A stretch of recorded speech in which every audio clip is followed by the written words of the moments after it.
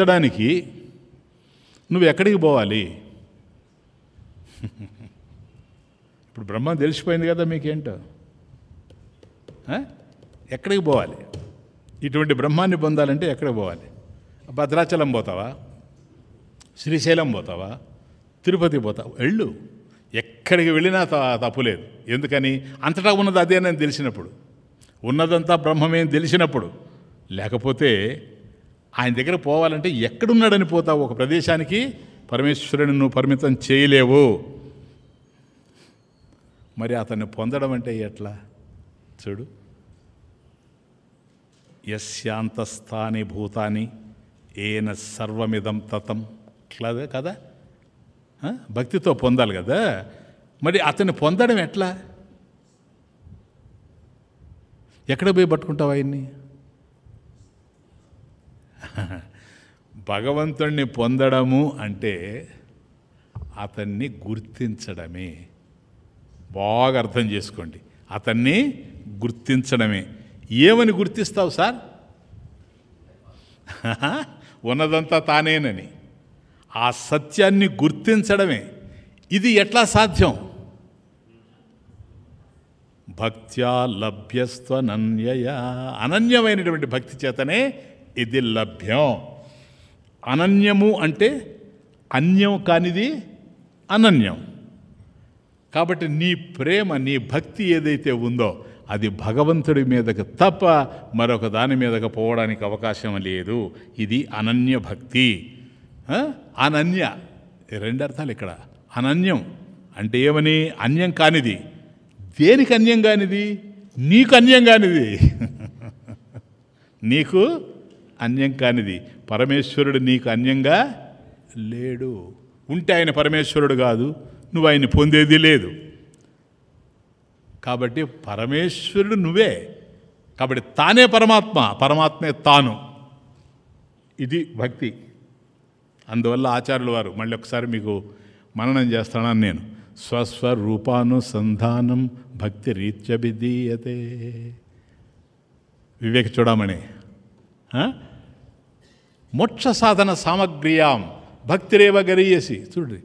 మోక్షాన్ని పొందాలంటే భక్తి ఒక్కటే. అదే భక్త్యా లభ్య అనన్య భక్తి చేత. మరి భక్తి అంటే ఏంటి డెఫినేషన్? స్వస్వరూపానుసంధానం భక్తి ఇది అభిధీయతే. స్వస్వరూపానుసంధానం. కాబట్టి పరమేశ్వరుడే నేను నేనే పరమేశ్వరుడే అనేటువంటి భావన. ఇతడు పురుష. నాయన శ్లోకంలో ఫస్ట్ లైన్ పురుష అంటే భక్తానాం హృదయం పూరయతీతి పురుష. కాబట్టి భక్తుల హృదయాల్ని పూరించేటువంటి వాడు భక్తితో నింపేటువంటి వాడు అటువంటి అనన్యమైనటువంటి భక్తి చేత లభ్య. గుర్తించడమే పరమేశ్వరుడిని గుర్తించడమే. ఎట్లాగైతే మట్టి పాత్రలన్నింటిలో ఉన్నది మట్టేనని ఎట్లాగైతే నువ్వు గుర్తించావో ఈ జగత్తంతా కూడా నిండా నిబిడీకృతమైనటువంటి వాడు పరమేశ్వరుడే అనేటువంటి సత్యాన్ని నువ్వు గుర్తించాలి అంతే. ఇక్కడ నువ్వే ఆయన ఆయనే నీవు. ఇది అనన్య భక్తి. అనన్య భక్తి అంటే ఏంటి? అన్యం కానిటువంటి భక్తి. అన్యమయ్యేది ఏది? భగవంతుడి కన్నా ఏది వేరుగా ఉందో అదంతా అన్యమే. ఇది రెండు రకాలుగా మనకు తెలుస్తుంది. నేను నాది. నేను నాది. దేహం క్షరం ఏదో. ఇదే నేను అనుకున్నప్పుడు ఒకటి నేను అనేది అహం. దీనికి సంబంధించింది ఏదైతే ఉందో అది ఇల్లు కావచ్చు పొలం కావచ్చు పశువులు కావచ్చు భార్యపిల్లలు కావచ్చు ఇదంతా నాది. నేను నాది. అహం మమ. ఈ రెండు ఎగిరిపోతేనే అనన్యం. అప్పుడే ప్రయాణం ముందుకు పోద్ది. యద్గత్వ. ఒక కుర్రాడిని కుక్క తరిమింది నాయన. ఇప్పుడు అర్థమవుతుంది మీకు బాగా. ఒక కుర్రాడిని యువకుడిని కుక్క తరిమింది. వాడు పరిగెత్తూ ఉంటాడు. అది పిచ్చి కుక్క అది పరిగెత్తా ఉంది వాడిని వదల్ల. కాబట్టి వాడు పరిగెత్తున్నాడు కుక్క పరిగెత్తుంది. కానీ కుక్క చాలా స్పీడ్గా పరిగెత్తుంది. వీడు కూడా కుర్రాడు కనుక బాగానే స్పీడ్గా పరిగెత్తాడు. వచ్చిన బాధ అంతా ఏంటంటే వీడు చెప్పులు వేసుకొని ఉన్నాడు వీడు చెప్పులు వేసుకొని ఉన్నాడు ఆ చెప్పులు వాడి యొక్క వేగాన్ని తగ్గిస్తాయి. తగ్గించవా? చెప్పులు వేసుకొని పరిగెత్తడం ఎట్లుంటుంది? ఒకసారి చూడండి ఇంట్లో ఎవరు లేనప్పుడు. పరిగెత్త వాడు పరిగెత్తా ఉన్నాడు పాపం. దీని స్పీడ్ ఎక్కువ అవుతా ఉంది వాడి స్పీడ్ తక్కువ అవుతా ఉంది. దగ్గరకు వచ్చేస్తూ ఉంది అది. వీడు బాగా పరిగెత్తితే కానీ దానికి దూరంగా పోలేడు లేకపోతే అది కరస్తుంది. పిచ్చకుక్క అది. చాలామంది పిచ్చి పట్టించింది. అందరు పిచ్చోళ్ళే ఈ ప్రపంచంలో. అది కరవడం వల్లనే. సరేనా? తరుగుతుంది వీడు పరిగెత్తి పరిగెత్తి పరిగెత్తి. ఒక దశలో వైమ దగ్గరకు వచ్చేస్తుందని రెండు చెప్పులు వదిలేశాడు. వదిలేటప్పటికి వాడి స్పీడ్ పెరిగింది.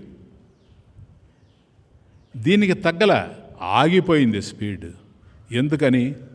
పూర్వం మన పెద్దవాళ్ళ పూర్వం మన పెద్దవాళ్ళు అనేవాళ్ళు. కుక్కలు చెప్పులు వెతుకును నక్కలు బొక్కలు వెతుకును. సరేనా? వాళ్ళు చెప్పినవన్నీ జ్ఞాపకం వస్తుంటాయి నాకు ఇప్పుడు. కాబట్టి ఎప్పుడైతే చెప్పు కదా అది చెప్పును పట్టుకొని పోతా వీడి పాటికి వీడు కొద్ది దూరం పరిగెత్తి ఇంకా వస్తుందని చూశాడు రాలా. ఎందుకని ఆగిపోయింది అది. ఎందుకని దానికి కావాల్సింది దొరికింది? ఈ ప్రపంచంలో యద్గత్వ ఎంప్రాప్య పరంభావం ప్రాప్య పరమేశ్వరుని పట్టుకోవాలని ఎంత మనం ముందుకు పోతూ ఉన్నా ఈ మాయందు చూచారా? ఇది తరుముతూనే ఉంటుంది. ఏముంది దీంట్లో? నేను నాది అనే రెండు చెప్పులు తప్ప ఇంకేమీ లేవు. సరేనా? ఆ చెప్పుల్ని వదిలేయండి అంతే. దానికి కావాల్సింది ఆ చెప్పులే. అది అట్ట పోద్ది. మాయా? అది అట్లా పోద్ది మనం పరమేశ్వరుడికి దగ్గరగా వెళ్ళేటువంటి అవకాశం ఉంటుంది. మళ్ళీ తిరిగి వచ్చేటువంటి పరిస్థితి లేదు. ఎందుకంటే ఇదంతా మాయా కార్యమే గనక. మనుగడంతా మాయ కార్యము. మర్మమెరిగిన బట్టబయలు మాయ మర్మములు. మనుగడంతా మాయ కార్యము.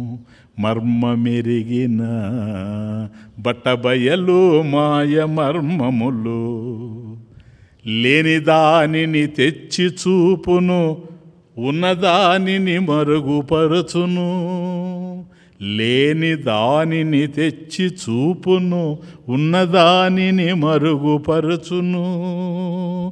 మనిషి బ్రతుకును మారనివ్వదు. మాయ.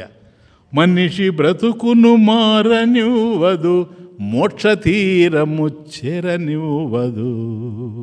మనిషి బ్రతుకును మారనివ్వదు మోక్ష తీరము చేరనివ్వదు. మనుగడంతా మాయ కార్యము. మర్మమెరిగిన బట్టబయలు మాయ మర్మములు. కాబట్టి ఇది వదలాలి. కానీ వీటికి కనెక్షన్ ఏంటంటే ఎందుకని ఇన్ని చెప్తూ ఉండినా నాయన? ఇంత వింటూ ఉన్నా ఇన్ని శాస్త్రాలు అధ్యయనం చేస్తూ ఉండినా ఇన్ని సంవత్సరాలుగా శాస్త్రం అధ్యయనం చేస్తూ ఉండినా ఎందుకని మన దృష్టి పరమేశ్వరుడి మీదకి పోవడం లేదు? ఎందుకు ప్రపంచం మీదకే పోతూ ఉంది? పరాంచికాని కఠోపనిషత్ యమాచార్యుల వారు నచికేతుడికి బోధించిన అద్భుతమైనటువంటి నాయన దీనికి కారణం ఒకటే పరాంచికాని వ్యతృణత్ స్వయంభూ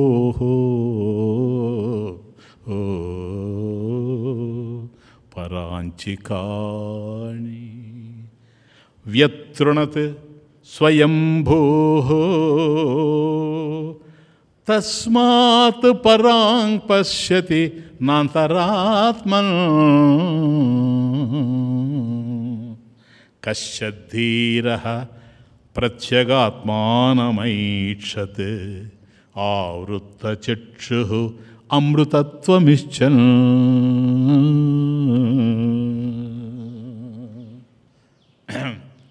ఇక్కడ యమధర్మరాజు నచికేతుడికి చెప్తాడు ఎందుకని? ఎంతగా మనం ప్రయత్నం చేస్తూ ఉండినా అంతా వింటూనే ఉంటాం. అన్నీ తెలిసినట్టే ఉంటాయి. సాధనలు చేస్తూనే ఉంటాం. సుస్పష్టంగా గురువు బోధిస్తుంటే అర్థమవుతుంటుంది. మళ్ళీ మళ్ళీ పిచ్చి మనసు ఈ మాయలో ఎందుకు కూరుకుపోతూ ఉందంటే దానికి చెప్పాడు పరాంచి కాని కాని అంటే ఇంద్రియాణి. కాని అంటే ఇంద్రియాణి. స్వయంభూ బ్రహ్మదేవుడు. ఈ సృష్టిని తయారు చేసినటువంటి బ్రహ్మదేవుడు కానీ ఇంద్రియాల్ని పరాంచి వ్యతృణత్ వ్యతృణత్ సృష్టించాడని అర్థం. ఎట్లా? పరాంచి బహిర్ముఖంగా సృష్టించాడు. అంటే శబ్దాది విషయాల మీదకు పోయేటట్టుగానే సృష్టించాడు. ఇప్పుడు మనకుండేది పంచ జ్ఞానేంద్రియాలు. ఇప్పుడు కళ్ళుండాయి. కళ్ళు దేన్ని చూస్తాయి? చెప్పండి. ఇప్పుడు ధ్యానం చేయాలి. ధ్యానం చేయాలంటే కళ్ళు మూసుకొని ధ్యానం చేస్తున్నావు. కళ్ళు మూసుకొని ధ్యానం చేస్తే నీకేం కనపడుతుంది? ఏం కనపడదు? కాదు. కళ్ళకి ఏదో చూడాలని ఉంది. అప్పటికి ఎంతో అవగాహన కల్పిస్తున్నావు అయ్యా ఇవన్నీ చూస్తున్నావు కదా? ఇవన్నీ నశించేటువంటివి. ఇవి చూసి ఏం లాభం? ఏది చూసిన తర్వాత మరొక దాన్ని చూడాలని ఉండదు. అటువంటి అద్భుతమైనటువంటి పరమేశ్వరుని యొక్క స్వరూపాన్ని చూడు. మార్కండేయ మహర్షి చూసినట్టే. భాగవతంలో. భాగవతంలో శ్రీ మహావిష్ణువు వాళ్ళని టెస్ట్ చేయాలని అంటే స్టోరీ పెద్దది. మోహిని అవతారంలో వచ్చినప్పుడు దానికి ముందు లక్ష్మీదేవి వస్తుంది కదా. అందరు కూర్చొని లక్ష్మిని కాదనే వాళ్ళు ఎవరు ఉంటారు? అందరికి కావాలి? సన్యాసికి కూడా. కాబట్టి లక్ష్మీదేవి వచ్చేటప్పటికి అందరూ స- వీళ్ళు లేచారు ఎవరు దేవతలు మాకు కావాలి మాకు ఇచ్చేయండి అన్నారు. రాక్షసులు ఇంక ఉండే ఉంటారు కదా మాకు కావాలి మాకు ఇచ్చేయండి అని అన్నారు. పండితులు ఉన్నారు వాళ్ళు మాకు ఇచ్చేయమన్నారు. ఋషులు ఉన్నారు వాళ్ళు మాకు ఇచ్చేయమన్నారు. కానీ ఆయనేంటి ఒక లక్ష్మీదేవికి ఏది పాలసముద్రం నుంచి వచ్చినటువంటి లక్ష్మీదేవికి ఒక పూలమాల ఇచ్చి నీకు ఎవరు నచ్చుతారు నచ్చుతారో వాళ్ళకి వేసేయి బొమ్మ అని ఆవిడ పట్టుకొని వస్తూ ఉంది. ఆవిడ వస్తూ ఉంటే ఒక్కొక్కరు మెడ ముందుకి. నాకేస్తారు నాకే. ఎవరికి వేయలే. పోతా ఉంది. లాస్ట్లో ఎందుకని దేవతలను చూసింది అరే వీళ్ళు దేవతలు గొప్పవాళ్ళే కానీ కానీ కామాన్ని జయించిన వాళ్ళు కాదు వీళ్ళు. ఇటువంటి కామాంధుల మధ్యలో నేను సుఖపడలేను నాకు అవసరం లేదు. ఇంకా కొద్ది దూరం పోయిన తర్వాత రాక్షసులు ఉండారు. వీళ్ళ దగ్గర కామం కంటే కూడా క్రోధం ఎక్కువ. ప్రతిదానికి కోప్పడే మొగుడు. ఏం ఉపయోగం? అందుకని వీళ్ళు ఉపయోగం లేదు. ఇంకా తర్వాత ఎవరు? తర్వాత చూస్తే ఋషులు. వీళ్ళకి ఒకటి తక్కువ రెండు ఎక్కువ. వీళ్ళతో ఎట్లా మెలగాలనో అస్సలు అర్థం కాదు. ఎప్పుడు ప్రాబ్లమే వీళ్ళతో ఎప్పుడు కోపడతారో తెలియదు ఎప్పుడు లేదు శాపం పెట్టేస్తారు. కాబట్టి వీళ్ళు అవసరం లేదు. ఇట్లా జ- చూసుకుంటే తరువాత ఋషులు వీళ్ళంతా ఎంత బాగా ఎప్పుడు వెళ్ళిపోతారో తెలియదు ఈ వైరాగ్యాలు ఇవంతా కూడా కొంప కూలిపోద్ది. ఉన్నప్పుడేమో అప్పులు చేసి ఉంటారు. తీరా వెళ్ళిపోతారు అప్పులు మనం కట్టలేక చావాలా? వీళ్ళతో ఎందుకని ఇంకా చివరికి వచ్చేటప్పటికి ఒకే ఒక వ్యక్తి అద్భుతంగా ఆమెకి నచ్చాడు. ఆయన మార్కండేయ మహర్షి. సరేనా? సృష్టి ఆయన్ని తప్పించుకుని పోలేదు. ఆయనే దాన్ని అంతా వివరిస్తాడు బా భాగవతంలో. అటువంటి మార్కండేయ మహర్షి దగ్గరకు పోయి ఇంకొక నిమిషంలో వేసైపోతుంది. ఆమె దగ్గరికి రాగానే కళ్ళు మూసాడు మార్కండేయ మహర్షి కళ్ళు తెరవలా? కళ్ళు మూసాడు ఇప్పుడు ఆలోచనలో పడింది లక్ష్మీదేవి. ఎంతో ప్రేమతో భార్య దగ్గరికి రాగానే నిద్రపోయేవాడు. ఏం భర్త? ఇతనెందుకు నాకు? అని అనుకుంటుంది. కానీ ఆయన ఎందుకు మూసాడో తెలుసా? బా ఎంత అందంగా ఉంది ఈవిడే లక్ష్మీదేవి. ఈవిడే ఇంత అందంగా ఉంటే ఈవిని సృష్టించిన నా శ్యామసుందరుడు ఇంకెంత అందంగా ఉండాలి? అని పరమేశ్వరుని యొక్క అద్భుతమైనటువంటి ఆ రూపాన్ని లోపల దర్శిస్తూ వదిలేశాడు. ఆయన తప్ప మిగతా అక్కడ ఉన్న వాళ్ళందరూ కూడాను ఇంక్లూడింగ్ ఇంద్ర. అర్థమవుతుంది? అందరూ ఆవిడ మీద మనసు పడేసుకున్న వాళ్ళే. కాబట్టి ఎందుకు అట్లా పోతా ఉందంటే పరాంచి. నాయన నచికేత పరాంచి. బహిర్ముఖంగా చేసేసాడు వచ్చిన బాధ. కానీ ఇంద్రియాన్ని ఇంద్రియాల్ని బహిర్ముఖంగా వ్యత్రణత అట్లా సృష్టించాడు గనక స్వయంభూ ఏది బ్రహ్మదేవుడు. తస్మాత్ దేర్ ఫోర్ ఈ కారణం చేత పరాంగ్ పశ్యతి నాంతరాత్మన్. పరాంగ్ పశ్యతి కాబట్టి బాహ్యములోనే చూస్తూ ఉన్నాయి కానీ ఇప్పుడు కళ్ళు బాహ్యంలో చూస్తాయి. చెవులు బాహ్యంలో శబ్దాలను వింటాయి. బాహ్యంలో ఉండే వస్తువుల్ని నాలుగు రుచి చూస్తుంది. కాబట్టి ఇవన్నీ కూడాను బాహ్యంలో ఏవైతే ఉన్నాయో పరాంగ్ పశ్యతి నా అంతరాత్మన్. లోపల అంతరాత్మ దగ్గరకు పోవాలంటే అవి వెనుదిరగాలి అంతర్ముఖం కావాలి. బహిర్ముఖం అయ్యేటువంటి ఇంద్రియాలు అంతర్ముఖం కాలేవు. కారణం ఆ పరమేశ్వరుడే అబ్బాబా బ్రహ్మదేవుడే వాటిని బహిర్ముఖంగా సృష్టించడంతకన్నా ఇంకేమి ఇంకేమీ లేదు. యతంతోప్యకృతాత్మన నైనం పశ్యంత్యచేతస ఇది గీతలో వస్తుంది మళ్ళీ. ఏంటంటే కశ్చిత్ ధీర. ఈ విధంగా ఉంటే పరాంగ్ పశ్యతి నా అంతరాత్మన్ అంతరాత్మను దర్శించలేకుండా బాహ్యాన్నే చూస్తూ ఉండారు ఎందుకంటే ఇంద్రియాలే బహిర్ముఖంగా సృష్టింపబడ్డాయి కనుక బ్రహ్మదేవుడి చేత. కశ్చిత్ ధీర కశ్చిత్ ఒకనొక ధీర ధీర పురుషుడు ఎవడైతే ఉండాడో అంటే ఈ బాహ్యమైనటువంటి విషయాలకి లొంగనటువంటి వాడు ప్రత్యేగాత్మానమైక్షత్ ప్రత్యేగాత్మానం ఐక్షత్. ఆ అంతరాత్మనే దర్శిస్తాడు. ఎందుకని దర్శిస్తాడండి?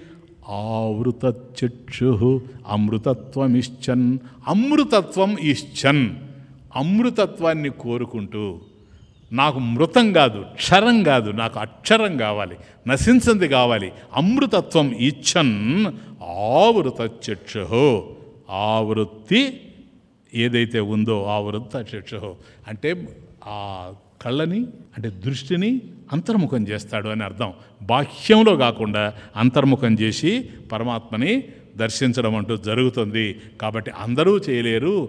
కాబట్టి సృష్టిలోనే ఉంది ఇది. బ్రహ్మదేవుడే ఈ విధంగా సృష్టించాడు. కనుక అంటే దాని అర్థం ఏంటి? ఎక్కువ ప్రయత్నం జరిగితే తప్ప మరొక విధంగా కాదు. యతంతో యోగినశ్చైనం పశ్యంత్యాత్మన్ వ్యవస్థితం అర్జున. కాబట్టి యతంత ప్రయత్నం కుర్వంత. కాబట్టి ఆత్మయందే ఉండాలి. యోగినశ్చైనం పశ్యంతి ఆత్మని అవస్థితం. ఆత్మని స్వశ్యాం బుద్ధౌ అవస్థితం. కాబట్టి తన బుద్ధిలో ఆత్మనే దర్శించేటువంటి వాడు.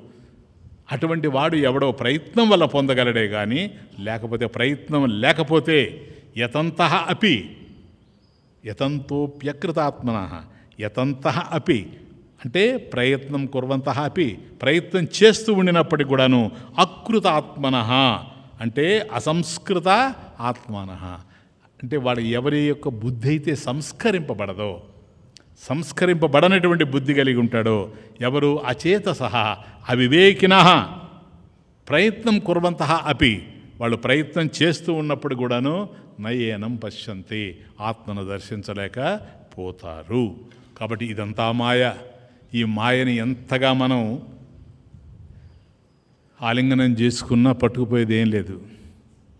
అది ఎంతదన్నా కానీ గగనమెంత విశాలమైనా చేదుకునేందుకు ఏముంది? ఇది ఇది మాయ యొక్క యథార్థ స్వరూపం.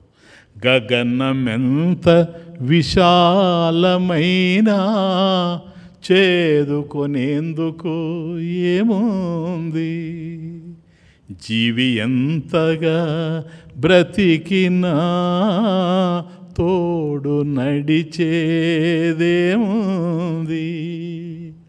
ఇంత విశాలమైనటువంటి విశ్వం ఏం చేదుకుంటావు దాంట్లో ఆకాశంలో? ఏముందని? కాబట్టి ఈ ప్రపంచం ఎక్కడైతే మనం జీవిస్తూ ఉన్నామో ఎంతకాలం జీవించినా కూడాను ఇక్కడ మనం పొందేది ఏమి లేదు మనతో కలిసి వచ్చేది ఏమీ లేదు.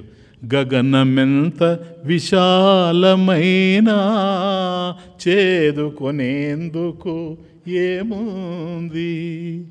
జీవి ఎంతగా బ్రతికినా తోడు నడిచేదేముంది? అంతా మాయే జీవితము వెలిగే మహిమే శాశ్వతము. ఆ వెలిగే మహిమేది ధామం పరంధామం అది కదా మనం చూచింది. ధామ జ్యోతి అది. అందుకని చెప్తున్నాను. అంతా మాయే జీవితము వెలిగే మహిమే శాశ్వతము. గలగల కిలకిల పారే నీరు గలగల విరిసే నవ్వు కిలకిల కాబట్టి ఒక నదిలాగా ప్రవహిస్తూ ఉండినా లేదు మనిషిలాగా నవ్వుతూ ఉండినా జ్ఞానంతో మనిషి బ్రతకాలి అంటే ఈ మాయ ఏదైతే ఉందో ఏదైతే అశాశ్వతమైంది ఇక్కడ కనపడుతూ ఉందో ఏది మనకు తోడొచ్చేది కాదో దాని మీద దృష్టి లేకుండా యశాంతస్థాని భూతాని ఏన సర్వమిదం తతం. కాబట్టి అందరూ కూడా ఎవరిలోనైతే ఉన్నారో ఎవరైతే అందరిలో వ్యాపించి ఉన్నారో అటువంటి పరమేశ్వరుని అంటే ఆకాశే ఆకాశనేవా ఘటాది. కాబట్టి కుండలు ఇవన్నీ కూడా ఆకాశం కన్నా అన్యంగా ఎట్లాగైతే లేవో అట్లాగే పరమేశ్వరుని కన్నా కూడా మనం అన్యంగా లేవు అని తెలుసుకోవడమే. యస్య అంతస్థాని భూతాని ఏన సర్వం ఇదం తతం. ఓ. ఓం పూర్ణమద పూర్ణమిదం. పూర్ణా పూర్ణముద్యతే. పూర్ణశ్య పూర్ణమాదాయ. पूर्णमेवावशिष्यते। ॐ शान्ति शान्ति